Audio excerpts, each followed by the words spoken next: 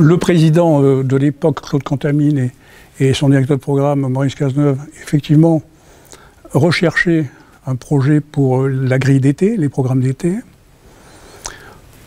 Moi, j'avais euh, eu l'occasion, euh, euh, dans des soirées familiales, j'avais eu l'occasion de, de, visionner des films d'amateurs. Et, et j'avais observé la, la, la, puissance émotionnelle de ces, de ces films, la, la, la, qualité, la qualité de l'image et ce que ces images vé véhiculaient d'instants de, de, et de moments de vie.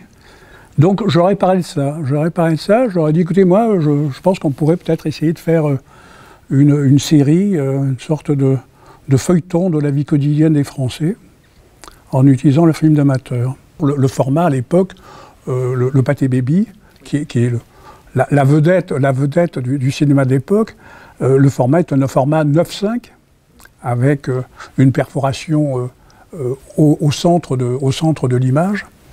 Et donc, évidemment, il fallait trouver, il fallait gonfler ces films afin de, pouvoir les diffuser en, en 16 mm.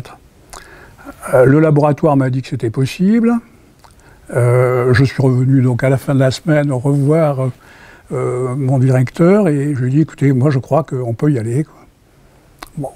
Et là, et ben, ils ont dit oui. On les visionnait, on choisissait des séquences de films, on mettait des fils, ça s'appelle un fil à fil. On les envoyait au laboratoire.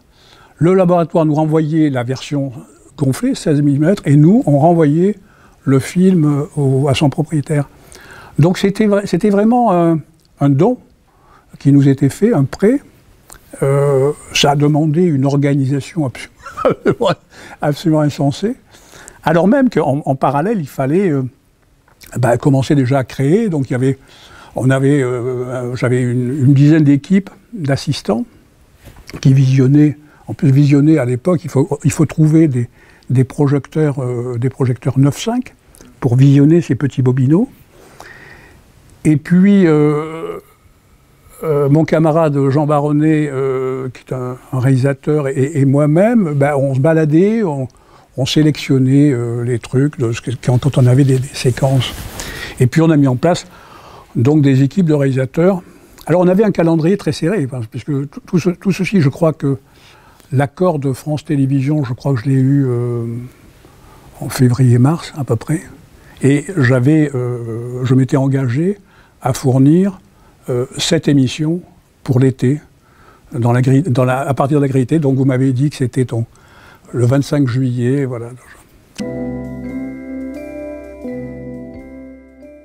Je savais que le pâté baby, euh, la caméra date des années 20, donc euh, euh, je savais, j'imaginais pouvoir commencer euh, la série dans les années 20 25. je ne savais pas très bien jusqu'où nous irions et à partir et, et jusqu'où il serait intéressant et normal, logique de trouver finalement une fin. on avait pensé arbitrairement, bon, les années 60, 70. Mais en fait, on s'est aperçu très très vite que, euh, dès que dès que les caméras ont eu des zooms, c'était pas un problème de pellicule, c'est pas le problème du support de la pellicule, c'est le problème de de l'optique. Dès que, dès, que, dès que les caméras ont eu un, un zoom, les, les, les, cinéastes amateurs ont, filmé différemment. Ils, étaient plus reporters que observateurs et, euh, euh, voyeurs de leur propre, vie euh, et, de leur, famille. Et, donc le charme, le charme qu'il y avait sur ces images de, la première période, le charme se, diluait un petit peu. Ce qui était formidable et ce qui est formidable dans ces images, c'est la profondeur de champ, c'est la manière dont, l'action euh, s'organise euh, dans des plans qui sont la plupart du temps fixes. Les gens viennent, euh, viennent dans le champ, ils s'approchent de la caméra, ils nous sourient, un, grand, un gros plan, ils repartent au loin, ils s'éloignent. C'était une grammaire magnifique du point de vue cinématographique. Cette grammaire, on l'a perdue après. La sélection des images était faite par, euh, euh, moi et, mon, camarade Jean. Euh, on leur donnait, puisque j'avais fait une sorte de prédécoupage par, par, époque, on leur donnait, on leur distribuait les, films. on a eu des discussions sur le sens qu'il fallait donner, évidemment, à ce montage.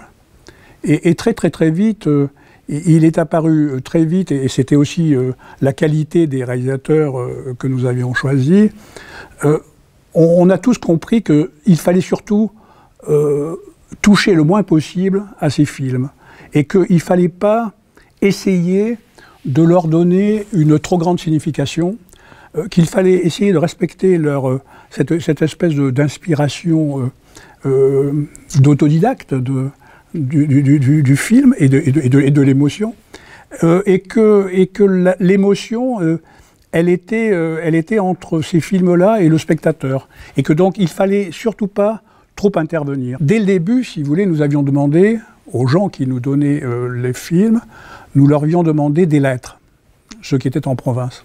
Donc ils nous avaient écrit des, des commentaires il nous a écrit les commentaires de, des, films. Ah ben là, c'est euh, là dans ce film, vous verrez, euh, c'est euh, le tonton Antoine qui, moi, je suis la petite fille que vous voyez dans le coin. Enfin voilà, il y avait ce genre, de commentaires.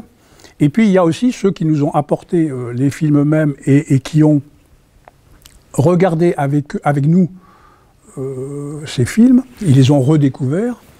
Donc tout ceci crée une relation d'intimité très très très grande euh, avec ces personnes. Euh, on, avait réellement confiance et conscience qu'ils nous donnaient quelque chose de, très cher, qui leur était très cher, une partie de leur, de leur vie, une partie de leur mémoire.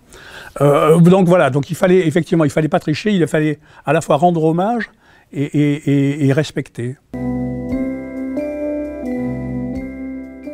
Ce qui est intéressant, c'est qu'effectivement, à l'époque, comme vous le savez sans doute, c'est vrai que les historiens eux-mêmes euh, ont commencé à s'intéresser à la vie quotidienne. La leçon qui était donnée par, ces, films, et qui, je crois, est une leçon qui aujourd'hui existe encore, c'est euh,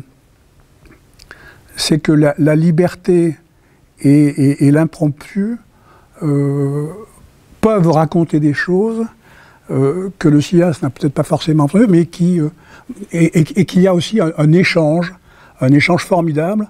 Euh, et, donc, c'est euh, dans, cette relation entre l'image et le spectateur, ce qui me paraît très fort, c'est que le spectateur est, d'abord l'auteur, le véritable auteur. C'est lui qui va prendre euh, propriété de ces images et qui va les faire siennes.